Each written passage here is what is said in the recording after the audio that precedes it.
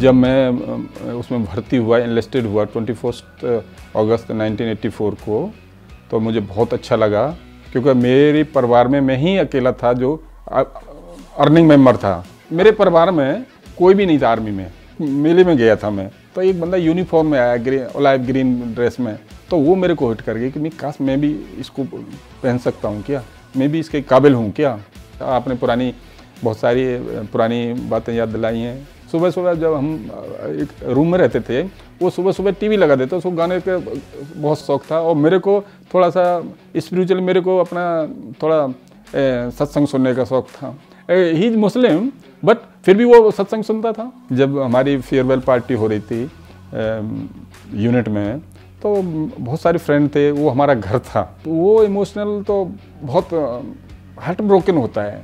Very difficult to detach बहुत दुख होता है। उस टाइम पर जैसे ही कि हम बहुत अपने, बहुत ही नियर डियर को हम छोड़ करके जा रहे हैं।